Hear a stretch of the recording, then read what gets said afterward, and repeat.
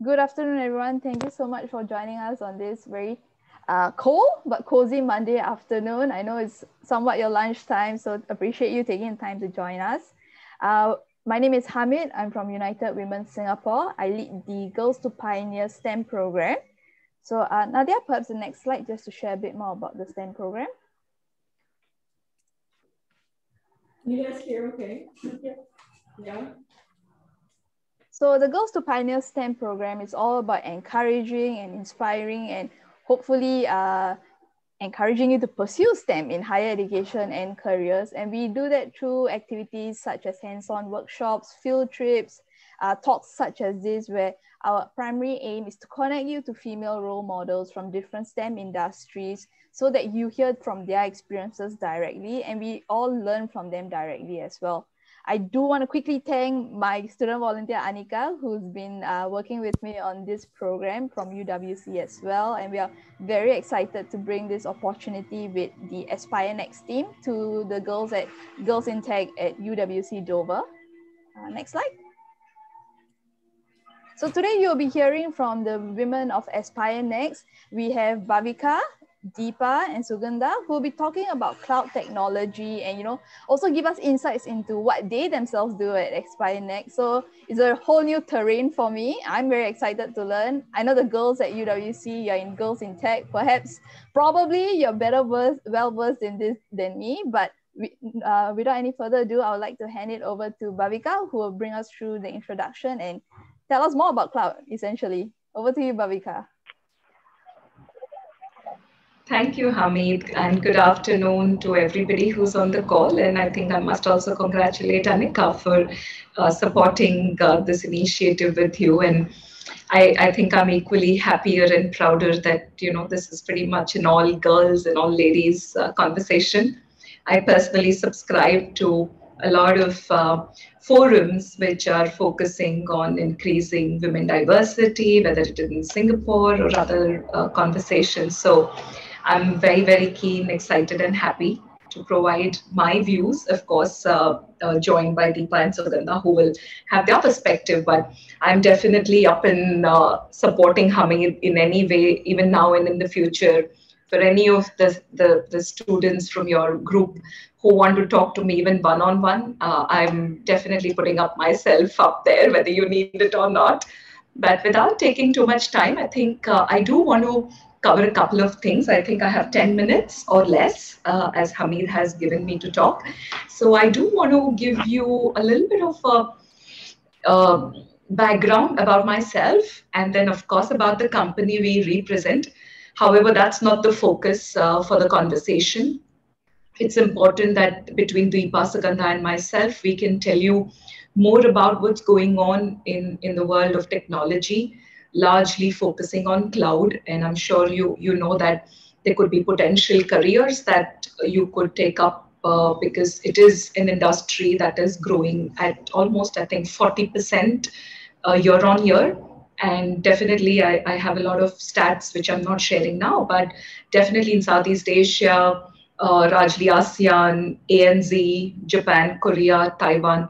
If you see each of these, they are all of these countries are growing very, very fast in the whole technology and the whole transformation conversation. So uh, basically, I've had about 20 years of experience in, in the industry, and uh, I spent a lot of years in the telco, which is telecommunications. So uh, you will be surprised, and maybe you guys know that all the internet that comes to our mobile phones and our laptops actually comes through large cables which are actually under the sea in the Pacific, in Atlantic, some of these, right? And when I used to work for uh, the telco that I spoke about, it was obviously difficult to believe that how all the information actually travels under the sea and it reaches in a flash of a not even a micro or a millisecond right onto our computer when we reach facebook or google or yahoo or whatever else right so it's very intriguing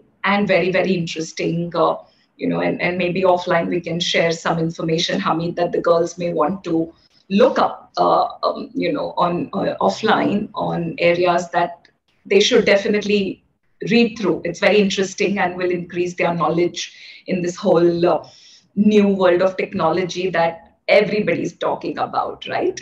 So flipping uh, this thing. So uh, coming to AspireNXT, uh, we basically a 10 year old company. We have offices in India, Singapore, Malaysia, Philippines, opening up in Australia, going into other parts of England and the EMEA region. So don't worry about remembering this. It's not something you girls need to bother much about, right? But yes, that's the company uh, the three of us represent here. Can you go to the next chart? Right. So I don't know if I can do a show of hands here just to ask that how many people or girls have already heard about cloud.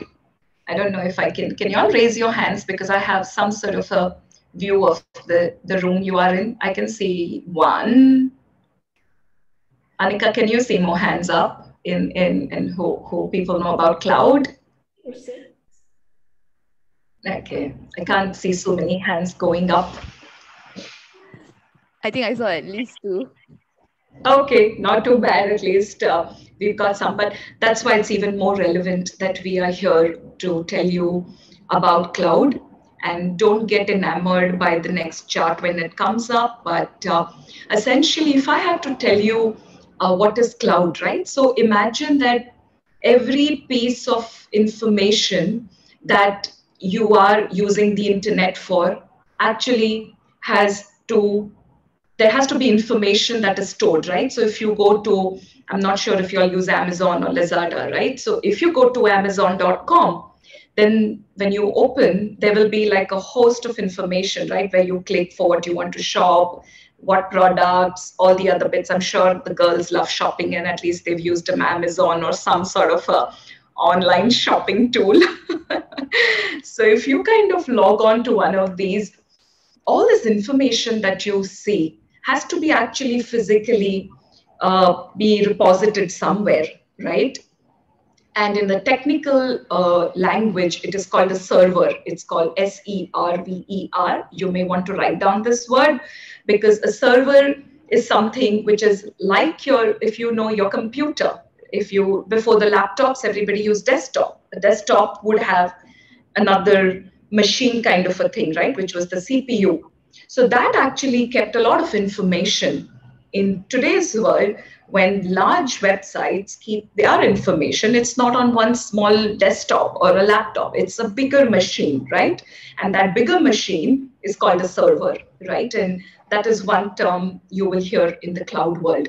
So all this information gets deposited, and each time you ping a particular so if you want to buy say a specific lipstick of a specific brand right it will actually go to the internet look for the information and it will give you the information like do you have stock right so that means when you do this whole shopping thing you've got to go and that information comes back to use to you right? Which again travels on some sort of a network backbone right? And you'll be surprised sometimes sitting in singapore or malaysia you'll actually be getting information which is either in Canada, it could be in America, it could be in any part of the world, which doesn't bother you because you're just interested in the shopping and you want your stock, right? So all of this information and this whole universe actually earlier used to sit in specific locations and they were called data centers. Another word you want to write down, DATA, data centers, right? which were physical, large rooms, buildings, right? There would be buildings of buildings, which is where these servers would be sitting. And all the information would be going in and out of the servers. Now, what's happened is people are saying too expensive, too much information. There's just so much online content that it's not funny, right? And there is no end to growing the physical capacity, right? We, we can't be putting so much money in real estate to just keep these servers in rooms. So what happened was there was a technology which is called cloud. And as you can imagine, the word cloud itself will trigger like it's big, it's large, it's all over the place, right? So these servers, instead of physical, became virtual. So they went into some huge capacities of data center, which are owned by different companies.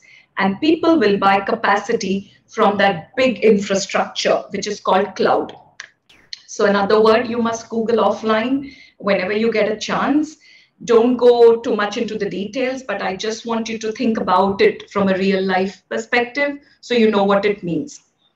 Taking a step back, um, so I'm sure, or if you've not heard the, the, the leaders in cloud, when you say cloud, which is basically big companies, which is Amazon, AWS, Amazon Web Services, there is Google, there is Microsoft, and there is Alibaba, right? In fact, Amazon has over 50% of market share in the cloud space. And then we have Google, uh, Azure, which is a Microsoft company, which takes care of cloud, which so now rather than Lazada, or Amazon trying to go and buy their own servers and put it in their office, they will just go to Microsoft or to AWS and say, I need so much volume, right? And there are inherent benefits why customers do it. I will not go into the details unless you ask questions, but I do want you to know that the cost of now running this cloud infrastructure where you can host everything in a common facility will be at least one tenth of the cost, if not less, right? So uh, I don't want to go in the details. Maybe I'll do that in the next session and tell you more about why customers and why why this cloud becomes very important. There are certain uh, comments that I've put in this chart, which you can read as I was talking through. But uh, that's basically cloud, right? I tried my best to simplify as much as I could. Uh, and we do want this to be interactive. However, between Hamid and us, we decided that if you have questions, you will put it in the chat window. And we have about 15 minutes at the end of the session for you, for you to ask us questions. And I think the more questions you ask, the more we will be interested to come back and continue this conversation uh, with you girls, right? So we don't want it to be boring. Uh, but also we want to talk about the concepts because some of you may know cloud, some of you may not be familiar with some of these terminologies. So I'm going to take a quick pause. Uh, any quick question you want to ask or feel free to put it in the chat if, if, okay, there is no question on the chat. So with this, if I may then invite my colleague Deepa, who's going to tell you, sorry, Anika, was there a question? I have some questions. I'll just type them in the chat and Okay.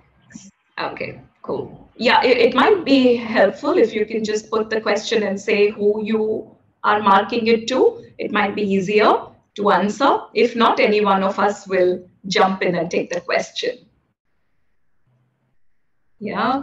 Okay, Hamid, I'm going to now let uh, Deepa come on board and talk a little about the internet. Thank you so much, Bhavika. Um, hello, everybody. It's really nice to see you all. And uh, definitely, uh, you know, I'm sure that uh, although we value add uh, to the session today, uh, many of you would be already familiar with most of the uh, aspects of it.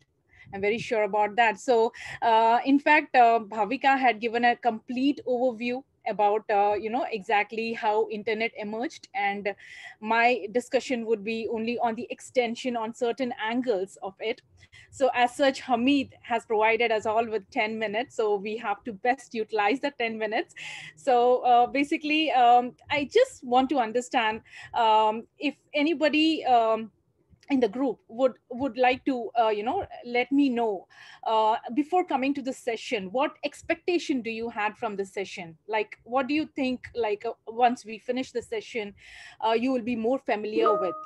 I mean if anybody would like to say or anybody representing the group is also fine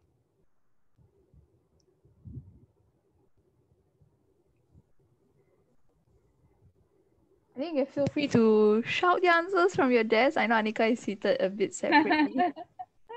okay. Uh, Anika, I mean, feel free to see if anyone wants to type in if that's easier in terms of you know what they hope to learn. Sorry, I was on mute. Um, someone was calling out from their desk. Um, have a broader understanding of what the cloud is and how it works. Broader understanding of cloud and how it works, Deepa. All right. Thank you so much, Hamid. Uh, so basically, that's where we are. Uh, so just to give a short introduction about me. So I have, uh, like Bhavika, have been into the sales functions and I have been at the time when emergence of internet actually started. Uh, basically, my role was to uh, communicate with uh, the leaders of internet during those times, like MCOM, uh, CompuServe, uh, America Online, uh, to make sure that the connectivity between two countries are free flowing. So uh, Bhavika, even yes, uh, when you spoke about the big cables under sea, uh, so my mind took me back uh, to during those days when we used to actually underlay these kind of cables between two countries so that there is a smooth communication between uh, two, two call centers or uh, uh two contact centers, right? So uh, basically when today we talk about the digital world, and when we go back to the primitive methodology that we used to uh, use during those days, there is a vast difference. So exactly what happened, like how it transformed into the digital world all the way from those cables uh, those routers those switches you know we have forgotten it all over a period of time and come to a, a, a come to a environment where we are only relying on cloud so basically um, uh, Okay, so I'm just looking at the chat window also just in case if you have any queries. All right, so um, may I go to the next slide, uh, Nadia? Thank you, Nadia. So um, the complete journey emerged somewhere in 1980s, 1990s, when actually there was birth of internet and uh, internet during those days was not the same like what we have today it has transformed, it has done its research, it has grown over a period of time. So basically, internet during those days was um, actually, uh, you know, transferring small bytes of information from one ter one terminal to the another, or you can say that, um, you know, small uh, small short messages from one phone to we had that big phone, uh, Android phone, wherein we used to type the short messages and we used to send from, uh, you know, one phone to another. So this was the kind of internet uh, emergence that we had during those days. It had a lot of constraints although it helped us in many ways. Like earlier we used to have letter uh, wherein we have to write a letter and post it out. Then email came in wherein uh, it was very easier to actually communicate the rediff mail during those days or uh, the gmail. All this helped us in communicating between you know relatives between friends through email. That was a a big boost, I would say. I mean, uh, as compared to what we had in the primitive age. So uh, that's how slowly and steadily from a state controlled mission, it actually transformed into a worldwide mission.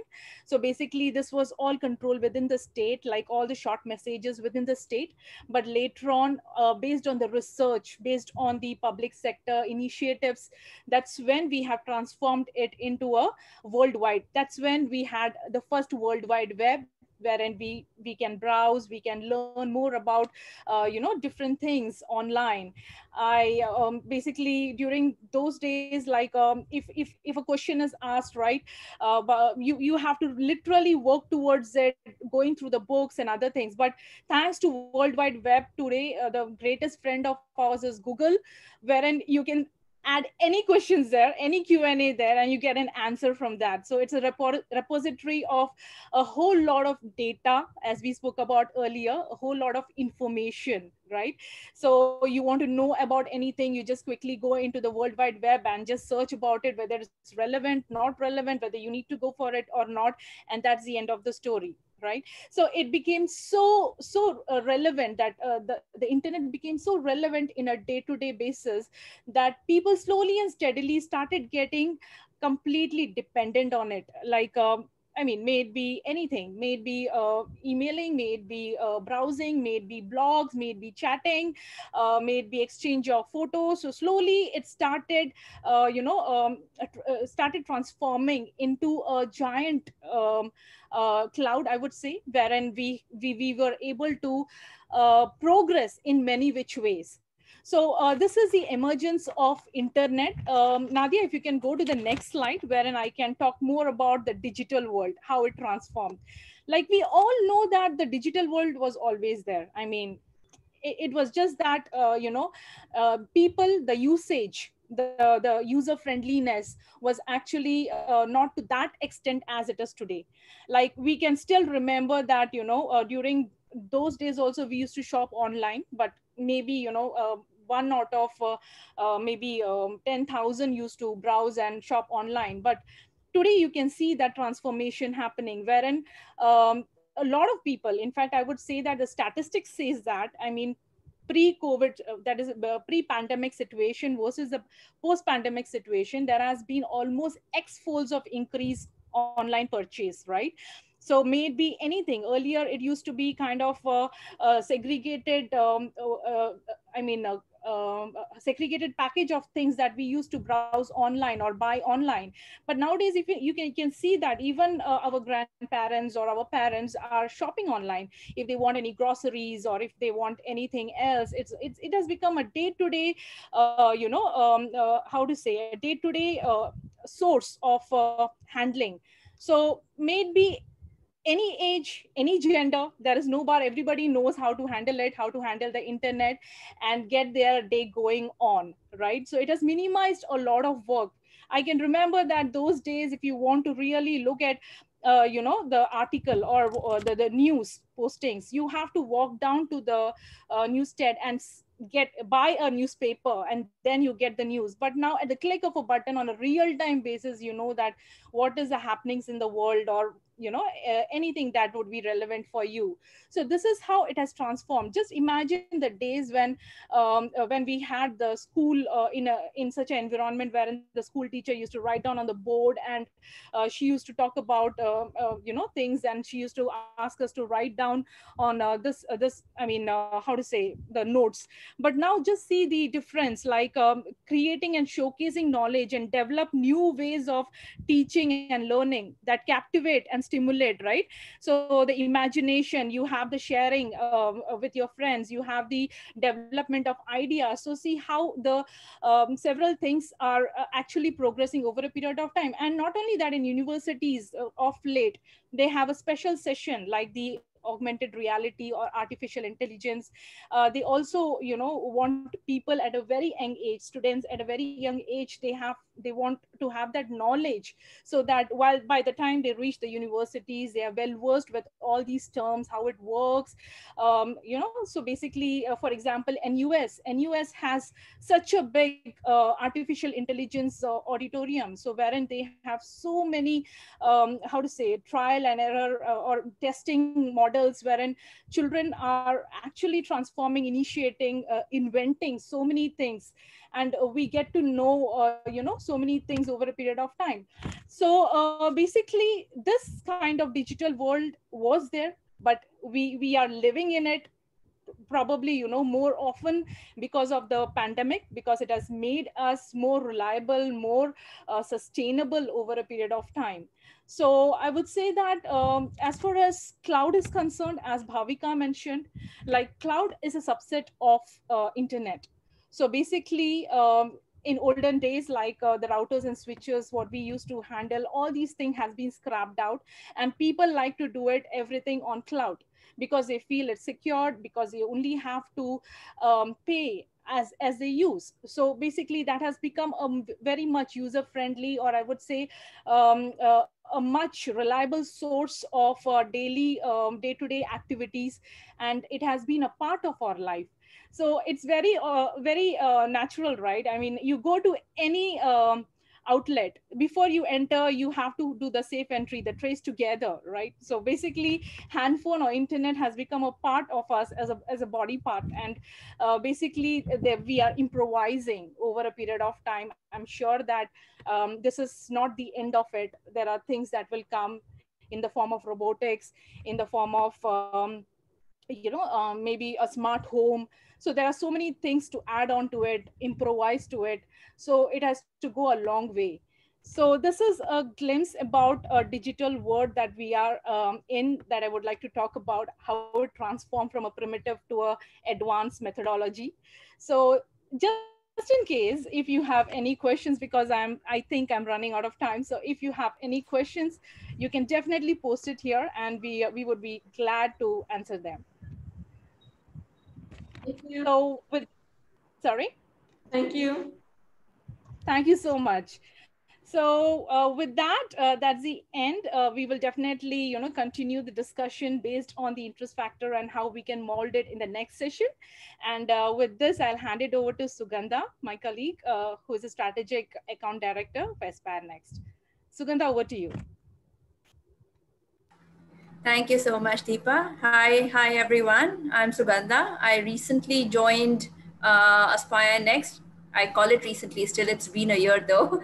Um, but yes, I'm a new entrant in technology, and it's been a phenomenal change for me, but a very, very uh, steep learning curve.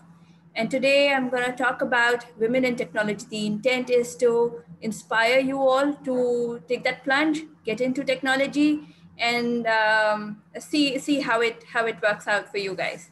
And I'll start that with the next slide. It's a, it's a quote from a lady called Karen from Cambridge uh, University Nadia, if you could move to the next slide. And she said something very important. She said that it's uh, computing. Computing, when we talk about computing, it's obviously cloud.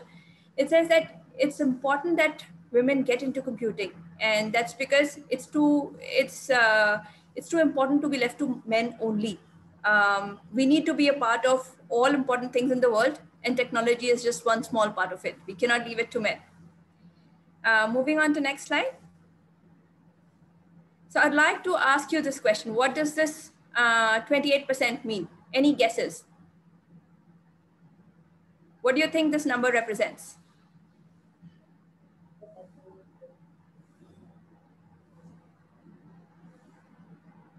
Anybody? I hear that um, someone had just said that maybe it was the number or percentage of women in the computing industry. Correct. That's right. So 28% of women uh, are a part of tech world right now. What do you think is 32? No guesses. Okay, so 32% of women are in technology in Singapore. So thankfully we are doing better than rest of the world. We have more women in the technology, but there's a lot more to be desired. I mean, it has to be a good balance of 50-50. So which is where we come in, we talk to you guys and we get more um, youngsters, younger women to get into technology. Uh, we move on to next slide. Okay, another question. Uh, it's not a question anymore given that the animation didn't work. So um, I wanted to talk about um, this lady, Lady Ada Lovelace. How many of you have heard about her? Did you read up about her? Yeah. I'm sure everyone would have. I read it in my school days as well. She's the first woman who got into technology, was involved in the first computer that was ever built. So the inspiration starts from 1800s and imagine we had one woman who got into technology in 1800s and we are right now at only 28% at a global level. So there's, there's so much still to be done by women. Uh, we move on to next slide. Okay, clearly the, the animation hasn't worked. I was about to ask you, how many of you know any women, any prominent women in technology? Yeah. Okay, so I'll quickly talk about, um, these are four women I thought were very important to talk about. They've contributed significantly, at least in the current world. So we have Sheryl Sandberg, who's the COO of Facebook. Uh, we have Susan Wojcicki, CEO of YouTube and I picked up two relevant examples. Um, Tan Hooi Ling, do you know any, do you know who she? Any guesses? Yeah, yeah. Oh, you do, great. So she is the founder of Grab.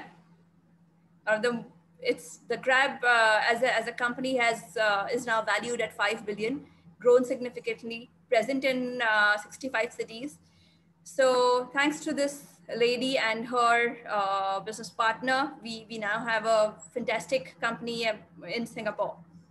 And does anybody know about Jenny Lee? No, no. Okay. So Jenny Lee is a sole female company. She's a tech investor. She's a venture capitalist, uh, sole woman at that level um, in, and she's a Singaporean. So I thought it, will be good to talk about these women given their, given their contributions. Any ideas why these women have done well? Any thoughts, any, any knowledge about it? Um, someone said confidence. Definitely confidence. Anything else? Inspired at a young age. Got involved? Yes, correct. Anyone else? No, nothing else. Yeah, those two. Okay, let me talk about three things that I thought stood out for these women. If you could go to the next slide. Um, there was one more slide.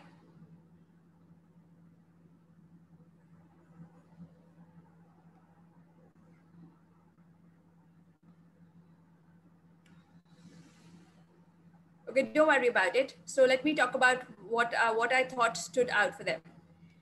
Um, field of technology uh, was not a barrier for them. So they, uh, if you see Susan Wojcicki was actually a historian. She studied history and literature at Harvard, but got into technology. She was involved in Google when Google was forming up in 1998. So study, uh, the field of study was not a barrier. They got into technology at a very early age and did very well. The second thing I thought was extremely inspiring was criticism. Criticism did not stop them from achieving success.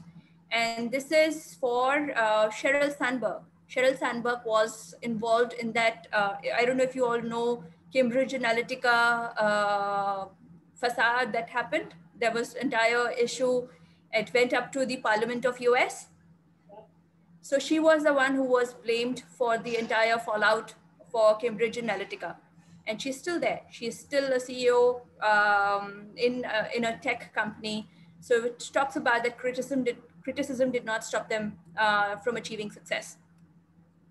And the last one I would like to highlight is uh, Tan Hooi Ling.